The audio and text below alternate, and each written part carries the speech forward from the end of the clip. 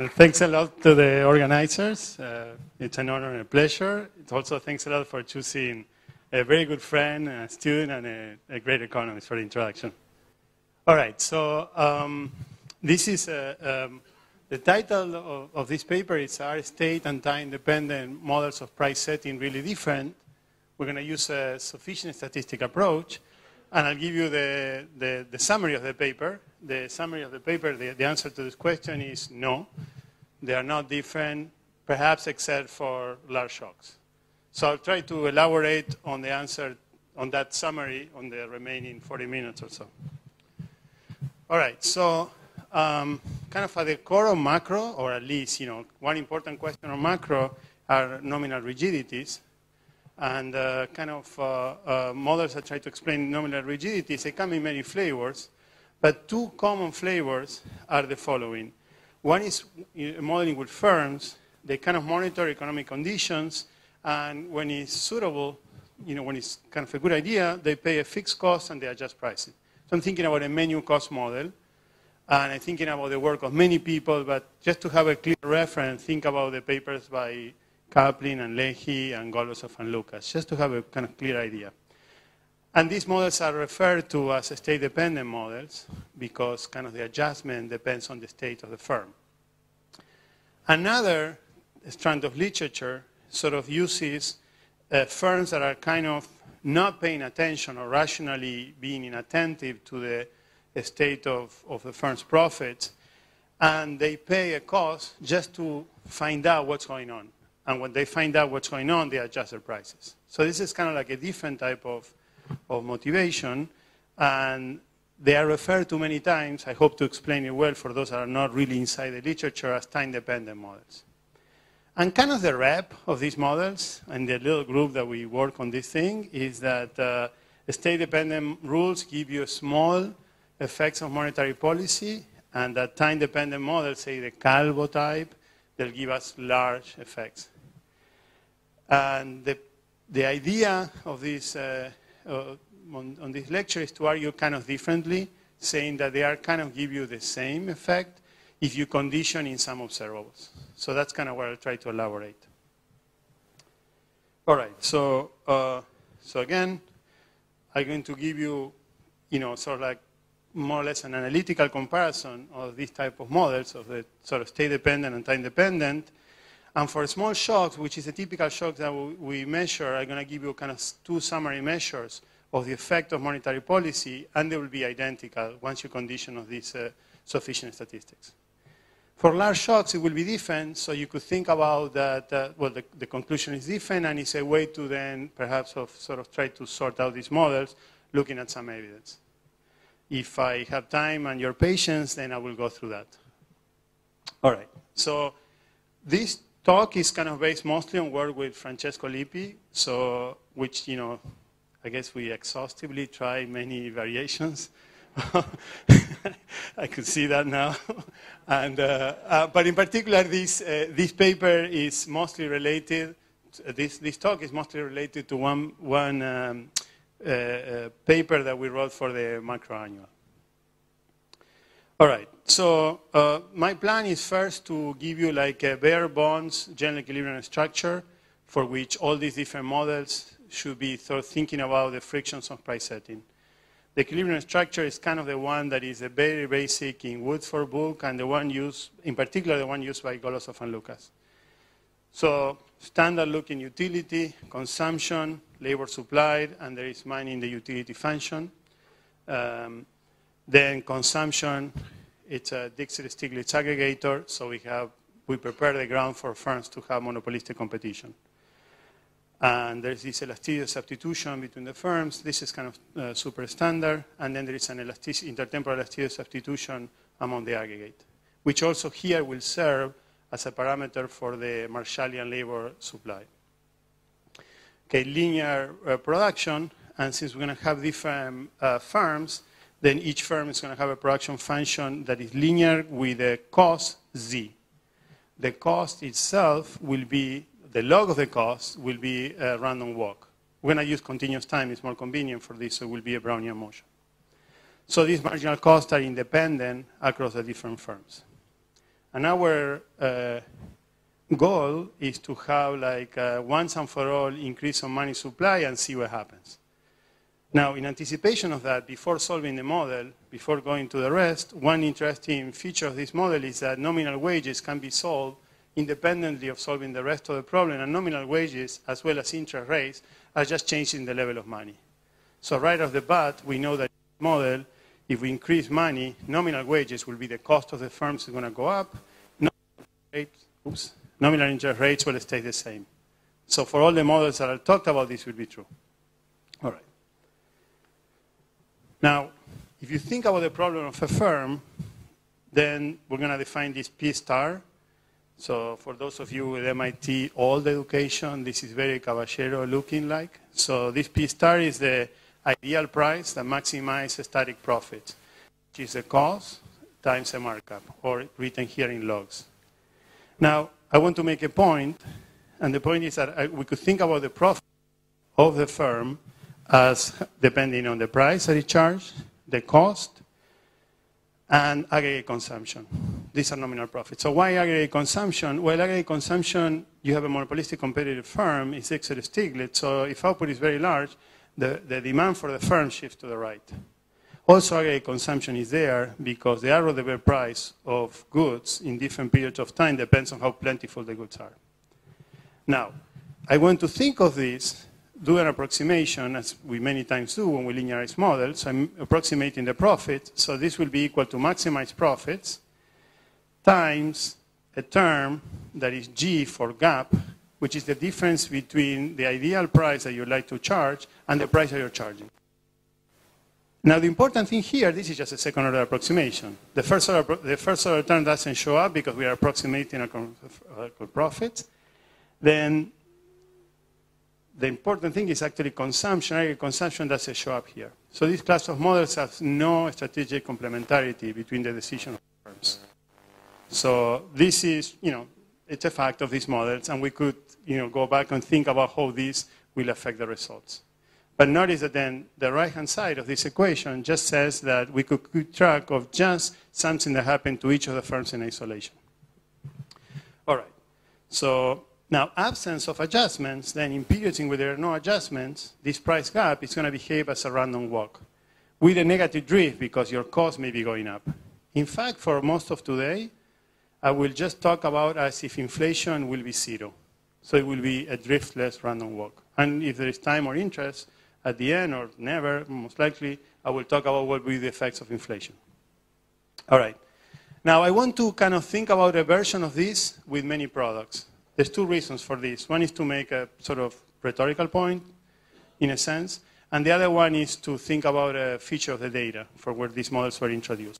So this version of the model is very similar to the one that I showed you before, with exception that notice that now, in the place of the consumption, the, you know, for each of, the each of the firms, there are n different products with potentially elasticity of substitution between the products different from the elasticity of substitution between the aggregates and the firms.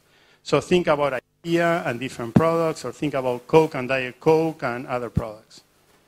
All right, and then there will be a technology in which you produce each of these varieties.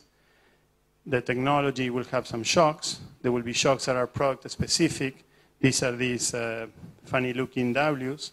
And then there will be one that is uh, for the whole firm. This is the funny looking W with a, with, with a bar. And they're all independent, so the common part of the cost will come just because of the common shock of the firm. All right. Same general equilibrium structure, so you'll have this, this property. So now if we think about the ideal price, it will have marginal cost with a common component. Say this is the Coke component. Then it will have an idiosyncratic, that's say Diet Coke, and then the log of the markup.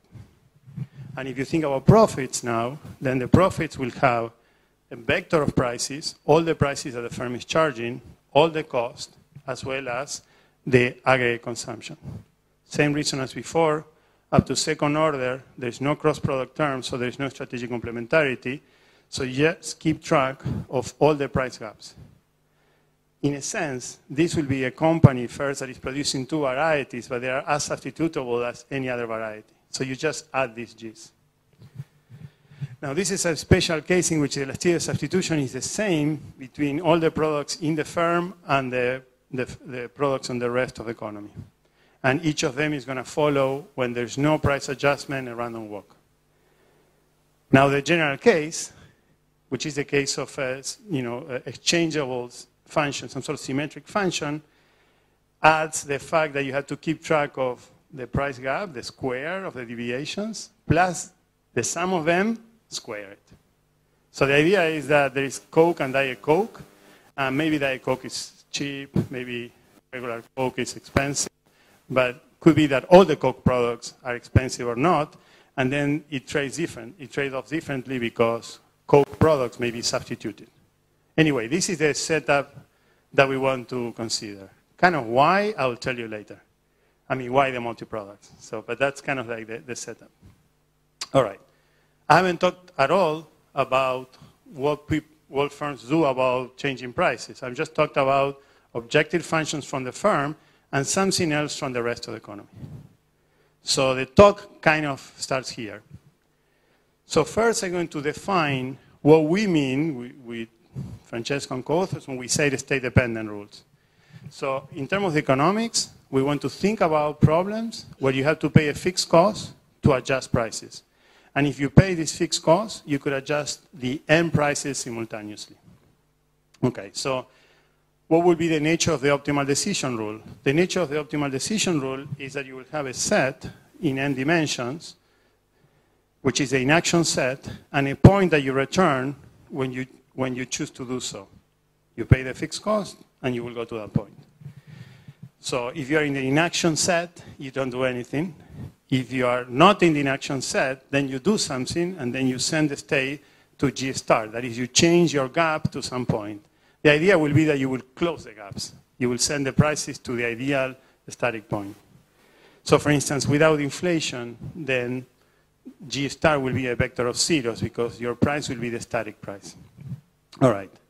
And in, indeed, I think it's simpler to think about the slightly more, speci the slightly more specialized case where this range of in, where this set of inaction is given by the solution of this equation, some function b of the vector of gaps. When this is negative, then you're in inaction, zero in the boundary, positive outside. All right. So that's going to be our definition of an state-dependent model. The economics, you have to solve it, and this will be the, the nature of the optimal decision rules. So examples of this is uh, Barro's paper in 72. That's a fantastic paper if you think about it in 72. Then there is Golosov and Lucas, which actually is like a fully nonlinear model, but this will be the approximation to what they do. It's in one dimension, so the inaction set, just to bring it down to earth, is just an interval. You let your markup go between, let's say, 15% higher than the ideal or 15% lower than the ideal. And when it hits 15% higher, then the markup is too high, you decrease prices. When it hits 15% lower, then, you, then you, the markup is too low, so you increase prices. So price changes will come either 15 up, 15 down. That will be kind of this. And it's kind of the way that the paper looks like if you go other paper. All right. So Lach and Tsiddon and later on Midrigan, they thought about this uh, uh, multi-product model, say with two products. This is sort of a generalization to n products. And in the simpler case, with no correlation, with no cross products, sort of the simplest case, what you do is you will control the, say you have Coke and Pepsi, you will change prices when either one of them is very out of line and the other is not, or some average of the two. Indeed, the range of inaction will be some sort of circle in two dimension. There will be a sphere. I can't really properly do this with a mic, but anyway, a sphere in three dimensions, some hypersphere in higher dimensions because you're sort of going to trade off whether one is very bad and the other is not. Now, what's the point of this, of these authors, of why they consider this? Because you will see a lot of small price changes and a lot of large price changes, which is something that you cannot see in the data. Look at the other bullet point. Distribution of price changes in the data are leptokurtic. They have too many small price changes, which is weird if you pay a fixed cost, and too many large price changes, which is also weird. Why you let them diverge so much? Why you change it for small amounts? And this was a way to try to generate them. Okay, so that was their motivation. And this is a generalization to n dimensions. And if you actually go like a slightly more general model, then what you have is that this will depend on the sum of the gaps squared and maybe something like the sum of the gaps squared. These are two numbers, actually, because you could actually show that even though this is an n-dimensional state, each of them is Markovian. So this is actually quite tractable model. And we're going to use sort of, we're going to make full use of this. All right, so this is a state, sort of, think of this as a generalization of Midrigan and Golosov and Lucas. All right. So now I move to time-dependent models. So if you want to think about something like a caricature of this, think about Calvo. Okay? So this is state-dependent model, but I want to think about some economics behind it. So the economics behind it that I, I would like to concentrate is the following. Think about that there's no cost of adjusting prices, but you need to pay a cost to find out what's going on. Say to find out the price gap, say the cost. So this is what we're going to call an observation cost. When you pay the observation cost, you observe the price gap. That is to say, you observe the cost of production. And then you could set the prices accordingly. Now, at the time of an observation, this is a little bit funky for actually for good reasons. At the time of an observation, you will get a signal, and the signal will be informative about future observation costs. This is kind of funky, but it's like this so that we could uh, accommodate a lot of models in the literature. So think about a simpler case will be that the observation cost itself is Markov. So when you see the observation cost today, you could figure out what will be some sort of observation cost in the future. Okay. Or you could think about a simpler model with just a constant observation cost. But these models will have some other differences that we'll talk about later. All right. Now let's just think about the nature of the optimal policy for a, for a firm. The nature of the optimal policy is like this. Today, you go and you look at what's going on. What are the costs? Then you do two things. You adjust prices, because that's why you gather this information. You adjust it to the optimal value. And then you decide, since this is a fixed cost, when you're going to take a look again. And you have to trade off cost and benefits. The cost is if you don't look at the state anymore, you're going to keep your prices up with the information that you have, and the quality of your decision is going to deteriorate because your cost of production is moving up and down, and you're keeping the prices constant. And it has a permanent component, so in average, they're sort of going to weird places.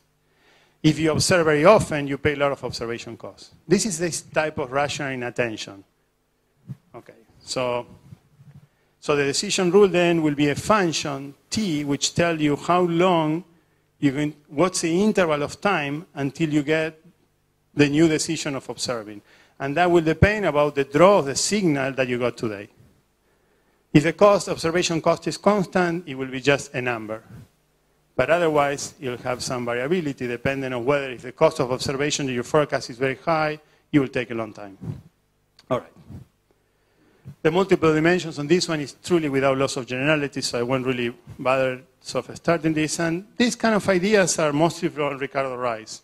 It's a bit of a generalization of Ricardo's setup. And they are related, but not exactly the same, uh, to Sims rational inattention. All right. So examples of this will be how is that this model will look like. Suppose the, the observation cost is constant, then you will observe, say, every six months, or whatever, some number, let's say six months. That look like Taylor, all Taylor, not Taylor rule, all Taylor. Okay, that you do it every stagger. I mean, I mean, Taylor paper from all time. Uh, or let's say you have some variation on the cost, you could manufacture it so that this will look like exactly Calvo. That will be exponential or anything kind of you want. In fact, we proved that you could manufacture the distribution of the signal so you could get any distribution of the times. So it will depend on, on you know, cost and benefit calculation. All right. So these are clearly state dependent because notice that your cost of observing is uncorrelated with the true production cost. So you observe, and every time you observe, you adjust prices. So all the idea is how far you go through this. Now, these models, people like them by some aesthetic features or realistic features because they match some other things. I don't want to get into that. That's not this type of talk. I want to think about the properties that they have. All right. There's a couple that you could think about models that have both features. I give you a couple of examples. I don't want to give you a general definition of a model that have everything because it's too cumbersome. But I'll give you some examples. One is the Calvo Plus model, which has some elements of the Golosov Lucas and of Calvo, which you may want also to think about why it's not called Golosov Lucas Plus, but anyway, that's the name of the model in the literature. And it's a model in which you have a fixed menu cost, and then every so often the menu cost goes to zero. So what you do, you adjust opportunistically. So this has some flavor of time dependence because when you have zero menu cost, you may as well adjust. Okay? And it's kind of unrelated to the profitability of the prices that you have. And if you make the two costs going like any way between the, the frequency where you get this at the size of the cost, you go from Golosov and Lucas to completely Calvo. So this is a model that has elements of both. Another model that we have studied is a model in which you have both an observation cost, so you pay to observe, you look at the state, as well as a menu cost. Because upon observing, maybe your price is almost ideal. If you have a further menu cost, you don't want to change. We, I mean, we, not the royal we, Francesco and me, we really like this model. We think this model has many features that, is, that make it realistic, different type of data sets. We think that favor this model.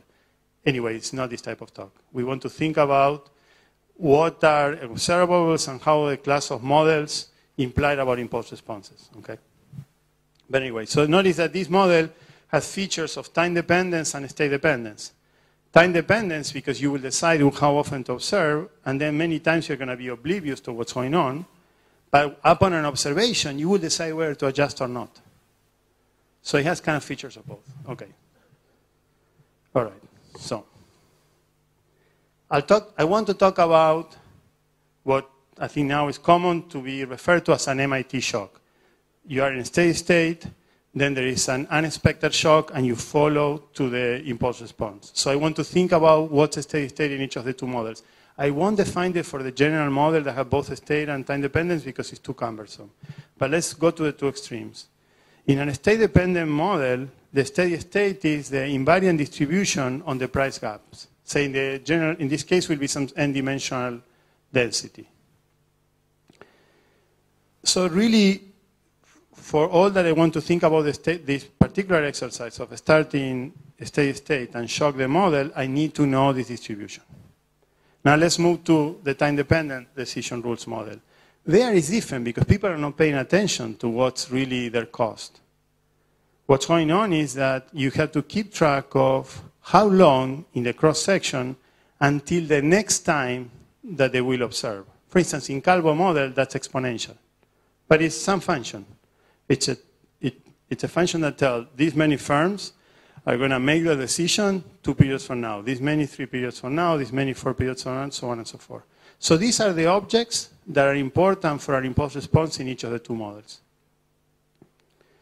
Okay, they are related to a bunch of observables also, but let me skip that. Okay, so now let's go through a shock. We're going to start the economy at some steady state. We're going to normalize output and prices to zero, just a, a normalization. We're going to increase unexpectedly and once and for all money by delta points. Now remember that in this case, really what this increase in money does, is increase wages, but delta log points. So wages were like this, they go like that. And that's a production cost to everybody. And we want to keep track of two outcomes. One outcome is the price level, what happens with the price level. And the other outcome is what happens with output. So that output, in both cases, I want to distinguish them by delta, which is the size of the shock, which I announced that it will be important, as well as t, which is, you know, to, t equal to zero is the beginning of the impulse response, and I want to see how far away it is, okay? So output actually is a fairly simple function of price level here, because in this model, you're in your labor supply, so 1 over epsilon is the uncompensated Marshall, is a Marshallian elasticity of the labor supply. Delta minus P is change on wages. Delta is change on nominal wages. P is change on prices. So delta minus P is change on real wages. So through this, you could read of change on output. This is a fairly simple model. All right. So this part is kind of simple. And we want to measure, or actually, let me put it this way, these are the two statistics for which we could get very sharp analytical results, which are the following. One is the impact effect on the price level right at the time of the shock. That's capital theta. And this is sometimes referred to, there is several papers analyzing this by Caballero and Engel. They refer to this as the price flexibility index. And the other one, it's the cumulative impulse response of output. So it's impulse response of output, but you take the area underneath. It's something like a summary measure, so it's one number. I'm going to return to graphs for them. So, all right. But these are the two objects that I want to talk about across the different models. So first, the impact response, the, sorry, the impact effect of money on output. So this is like an heuristic picture. It's just drawn by hand.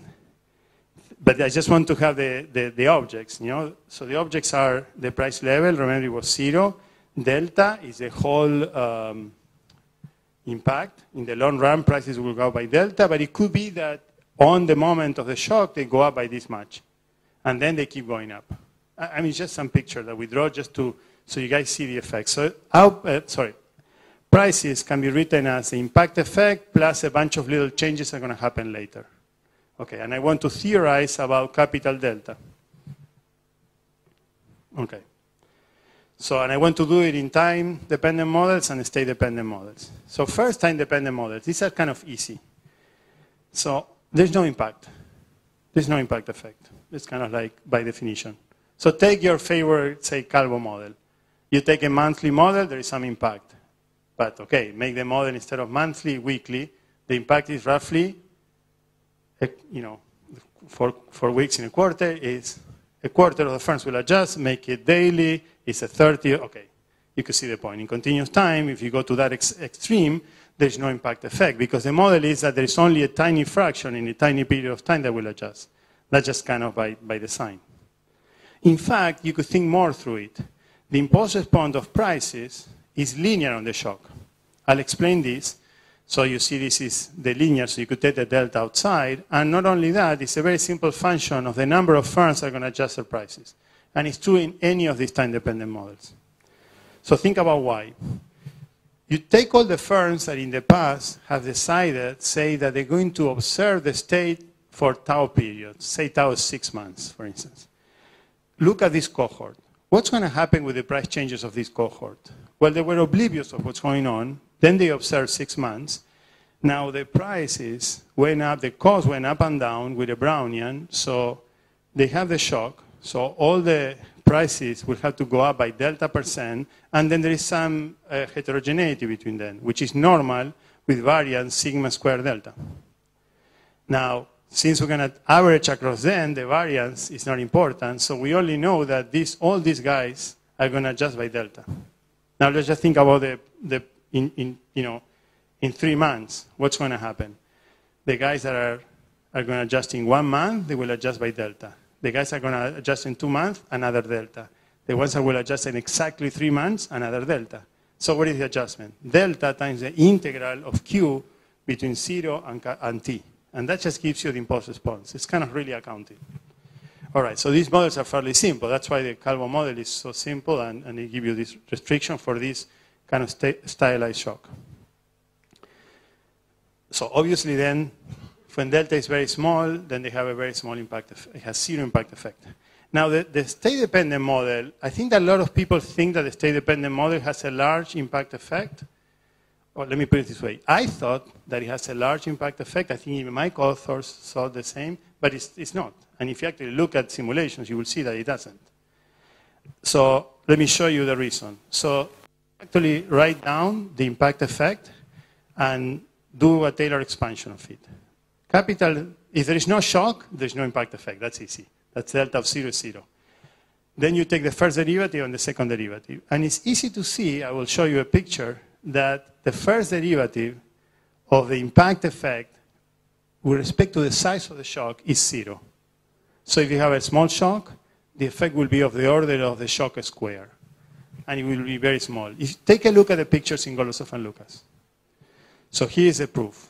And this extends easily to the general setup with multi-dimensions, with a, you know, it really is the same mathematical logic, really. So the, the triangle here is the distribution of price gaps in a steady state. So it's right there. Then the shocks come. When the shocks come, remember the price gap is what you charge relative to what you would like to. Since the cost went up, every markup is lower now. So the whole distribution moves to the left. So, so now it used to be between G minus G per bar and G per bar. Now the whole triangle moved to the left. Now, importantly, notice that this is a triangle. And the important point for this is not the, the shape, but the fact that the density at this point is zero. And the reason why the density is zero is not a coincidence. These points are exit points, meaning that if a firm hits them, it leaves. So you cannot accumulate mass as long as you have some random shocks. Okay? So this is actually a general feature. That's why this, this will be a general result, just using the, the sort of continuous path type of models.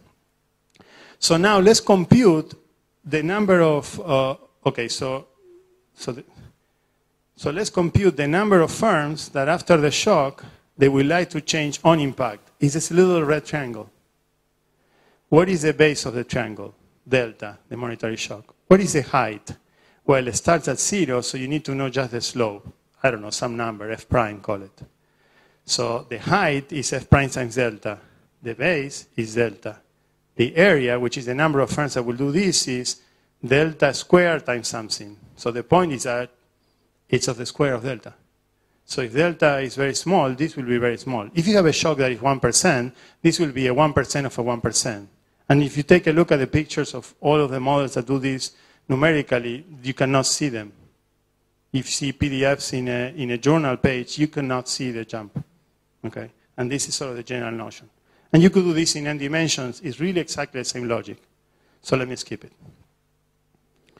All right, so now I want to think not just the impact effect, because you may say, who cares about the impact effect? I want to return to that. And uh, is that cap t or minus remaining time? Yeah. Okay. So, so, so, okay, so I will say why you may care about this, but for now, so this picture, we took Lord Ward to do it, so it has, an has two, two lines with some sort of hypothetical price changes. Notice that one has a tiny jump at the beginning. I don't know, think of this as a state-dependent model. The other one is a, some uh, time-dependent model that has no jump. Anyway, the, the point is that they're very similar. And then we shaded the difference in each point of the impulse response between that and delta. What is this difference? This difference is output. If you look at this vertically, that difference is how higher, how much higher than in state real wages are. At the beginning are much higher. So each point is the, so if you turn it the other way around, that's actually the impulse response of output. So if you integrate it, you get the area. And the point is that for all these models, this area can be expressed as delta, which is the size of the shock, divided by the epsilon, which is the Marshallian uh, labor elasticity, times the kurtosis of price changes, divided by six times the number of price changes in a steady state.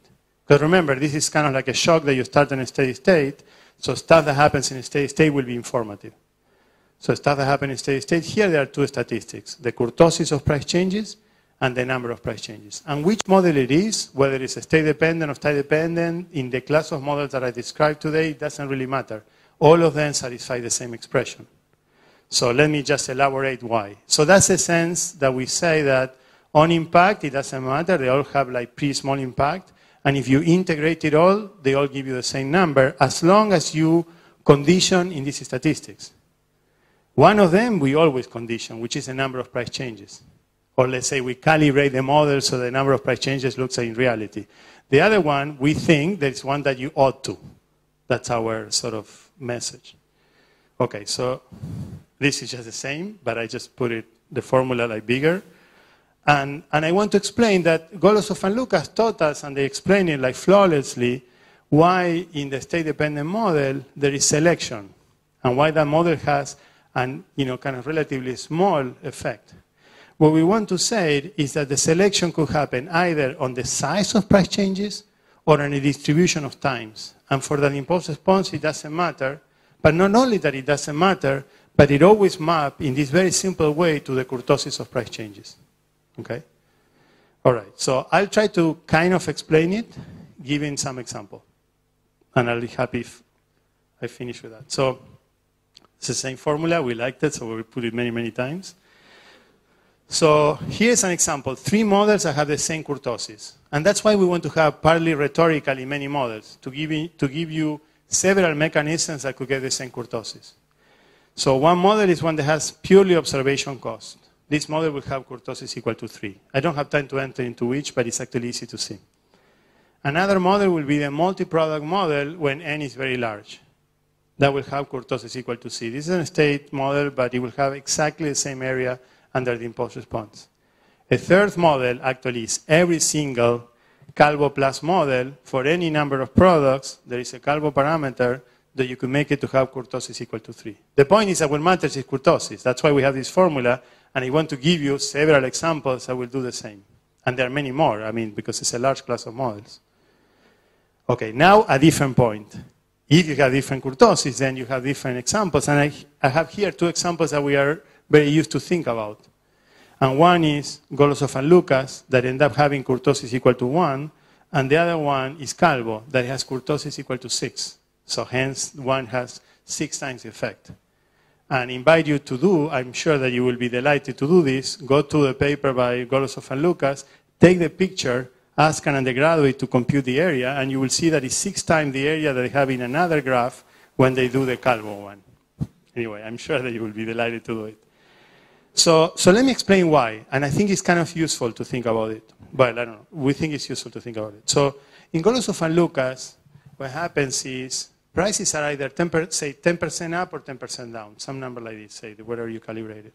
So there's low selection. And as they taught us, the idea is that when you have the shock, then all the firms are ready to go up in price for a while. So the impulse response is very fast.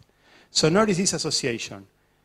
Those guys that are changing prices are a selected bunch because prices come in two flavors, up and down, so that's low kurtosis. That's as low as it could get. One is the lowest kurtosis for a, for a, for a distribution that is symmetric.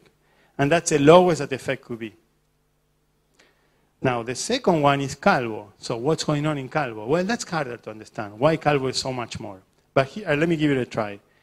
If you have a bunch of firms that adjust immediately, and a bunch of firms that will adjust in a very long time, you will have a large effect. So let me explain why. So compare two cases. One, you have a time-dependent model that everybody adjusts every year. You'll get some number. And you have a low kurtosis, because the kurtosis will be 3. Why 3? Everybody adjusts in a year, so the distribution of price changes is normal. Normal has kurtosis 3. Now let's say that you have a bunch of firms that adjust almost immediately, an hour, and the other ones that adjust every 100 years and it's 1% of the, of, the, of the population. So what's the kurtosis of this? It's huge, because it's a mixture of two normals. Basically, it's like a little normal, and on top of that, there is a bunch of them that adjust immediately. Huge kurtosis. Now, why the impulse response is so, is so drawn out? Well, there's 1% of the firms that they don't change the prices. So what happens with prices? Well, 1% of the prices, they stay constant for 100 years. So you integrate that, and then you get a very big integral. That's sort of simple. I'm sorry to, it's not that sophisticated. It's sort of like the, the logic of this extended to all these models. And different models combine the state dependence and the time dependence in different ways. Everything at the end gets reduced to kurtosis. So we think that it's an important kind of statistic to, to, to match when you think about the degree of selection. Notice also that the number of price changes is there. That's kind of well known. Because if you adjust very fast, time runs very fast. And then the impulse response, it just happens faster. So that's kind of obvious. And that's why also clearly there is a huge literature. Obviously, we are not even the first, or, you know, people know that the number of price changes is very important. But our point is the kurtosis is that important, and that's not a feature of state-dependent models. is a feature of any model in this class. All right. So we, have, we think that kurtosis in the data, when you properly do it, you try to the best you can for accounting for measurement error and also for heterogeneity, because otherwise you're going to be mixing different ones, is 4. So it's kind of two-thirds of Calvo. But that will take long time to explain why we think that this is a, a reasonable number. All right. So now let me conclude with why large, and this is kind of trivial now, but let me conclude with this. So how am I doing with time? Like more like, is that five or? like a second order approximation, it's like 10? Okay. So now think about a large shock. For a state-dependent model, you're oblivious to what's going on. So large, small, it doesn't really matter. So it's the same impulse response as if it were, it's linear. That's why I try to explain why it's linear. So it doesn't matter. But for a, I'm sorry, I, let me make sure I say correctly. For a time-dependent model, for a time-dependent model, sorry, sorry, like in Calvo, or Calvo if you want, it doesn't really matter because it's linear. So, but for a state-dependent model, if you have a very large shock, everybody will adjust. And in particular, the impact effect then will be very large. So for instance, for a subset of this class of models, you could compute that if the shock is bigger than twice the standard deviation in steady state, everybody adjusts. So two points. This is a nice statistic. Because notice that the standard deviation didn't show up yet anywhere. Kurtosis, which remember, kurtosis is kind of four moments divided by two moments sort of normalized, but standard deviation didn't show up by itself. Yet the standard deviation of the, of the price changes is the magnitude that tell you when a shock is large. Because standard deviation, think about in Golosov and Lucas again. Price changes are either 10% up or 10% down, so standard deviation is that, and if you have a shock that is more than 10%, sorry, more than 20%, everybody will adjust. And this is actually a general result. Okay, so when a shock is large, and here's a measure of large in terms of the steady state, that's kind of the feature of a sufficient statistic approach, then a lot of people will adjust. So what's the point of this? The point is that you could use this as a diagnostic device if you care to think about sorting out whether the data looks more like state dependent or time dependent. Because for large shocks, they are different. For small shocks, at least in this dimension that we have analyzed, they are not, but for large shocks, they are. Okay, so let me just skip the idea that, anyway, let me just skip this. All right, so as I said, the effects for are kind of not there if the shocks are small. For, for time dependent or state dependent, impact effect is it's always zero, but for, for state dependent, the, the impact effect is large if the shocks are large. Okay. And obviously, I'm not talking about models that has a mixture. It's a little bit of each. And the notation, everything is a nightmare, so I'm skipping that. So what type of evidence can be brought to bear? So we thought about trying to think about evidence of whether, what happens when there are large shocks. So, okay, so this is our heroic attempt. So we needed a shock that is kind of MIT-looking shock. So we don't want seasonal changes, for instance. That's very different from MIT. They're kind of, they're forecastable, they're short-lived. So we thought about, okay, exchange rate shocks. Because if you think about floating exchange rates, they're kind of random walk. There's also data that have high frequency, and we want to look at kind of short time periods. So monthly at least is better than quarterly. And it comes from many countries. That's good because we want to see small and large. So if we have like, you know, quarterly time series for only one country, that's probably not the place to look for. So that's what we did. We look at a panel of countries with different changes on exchange rates, and we run kind of the typical pass-through regressions. Okay? Now, interestingly, another way of doing will be to do a case study. And there are some case studies for large devaluations. There's also papers that they think about whether large evaluations are special in itself, thinking more about the macro. But there are several uh, case studies. We particularly like the case study from Switzerland. The case study for Switzerland, for those of you remember, is actually an appreciation. So remember kind when the Swiss, they had essentially a fixed exchange rate, and then all of a sudden they decided no more, and there was an appreciation of 11%. I think it was widely unanticipated. And the Swiss, so good, anyway, in my opinion, being so good, so they kept, they actually had daily uh, data of transactions, of imports daily. So they actually ran some import responses with daily data to look at the, so this is almost like a continuous time model. I couldn't believe it. So they did it by themselves, and they concluded, in the paper that I will not talk about it, but they concluded that the pass-through was much bigger when there was the, when they got out of fixing the exchange rate to the euro than the typical devaluation. So this is a paper that's kind of recent, so I wanted to mention because this is a paper for which it's much more credible to think that this is a shock if you look at the narrative or if you look at data of interest rate differentials. That's not what we did. We hope we would have done it. That's not what we did. What we did is we ran these regressions. So let me just summarize them. So this, there's a lot of people here that have written papers. In fact, there are people here that have written handbook papers here in the audience about the pass-through regressions. So these are kind of relatives to the regressions that people have run, but it's kind of like a panel version and non-linear. Because we wanted to think about whether large evaluations, the pass-through was particularly large. And in particular, we wanted to see it was particularly large at the very beginning. And this is kind of what we see. So we see that for large devaluations, then the all pass-throughs are very small. As people that know from this area, they are surprisingly small, at least to me. These are also small, but they are much bigger, disproportionately bigger, when the devaluations are large. That is, a percentage increase on the month of a devaluation is much larger if the devaluation is large. Okay? And this is particularly so for uh, floating exchange rate regimes which I think is sort of accords well with the idea that they're kind of random walk looking. Obviously, in this area, you know, kind of, uh, are these kind of like shock? Are they reacting to something? That's kind of like a big issue for those that work in pass-through regressions. They know this, so we don't have much to, to contribute to that. But we found this kind of to be like an interesting, uh, interesting, we found this sort of interesting. All right, so let me for time. I think I'm basically a CAPT, so let me, so let me conclude. So, we think that for small shocks, this nature of the friction is irrelevant.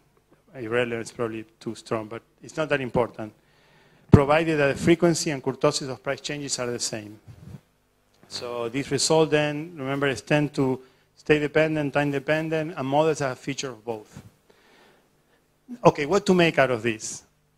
you know, you could think of this as this is nice because it's robust, so you don't need you you don't kind of need to worry about this. So that's kind of the the other way is you're thinking that it's hard to identify these models. That's kind of the other uh, sign of the same coin. On the other hand, for large shocks, then the state dependent are faster. But not only for large shocks, we interpret the state dependent as stuff related with information that what, is sluggish is the acquisition of information.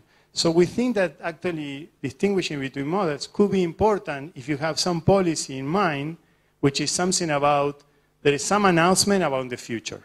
So for policies, where the nature of the shock is you announce something about the future, it may be interesting to distinguish them. For some other policies, it may not. So we have in mind something like forward guidance, which the whole idea is that you know something about the future, then sort of a state dependent and time dependence may work differently. So I wanted to just conclude with an example of that. So to conclude, I want to thank you for your hopefully rational attention.